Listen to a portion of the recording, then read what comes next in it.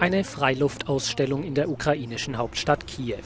Das Thema Angriffe auf Journalisten in dem Krieg, der die Ukraine seit bald einem Jahr erschüttert. Acht Medienschaffende wurden dort im aktuellen Jahr getötet, weltweit waren es mindestens 57.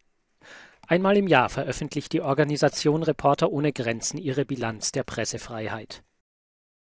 Aber nicht nur tote Journalisten listet der Bericht auf, auch jene, die im Gefängnis sitzen. China, Myanmar, Vietnam und Belarus sind traurige Spitzenreiter und seit diesem Jahr auch der Iran. Auffällig, der Anteil der Frauen an den inhaftierten Medienschaffenden ist in den vergangenen Jahren stark gestiegen.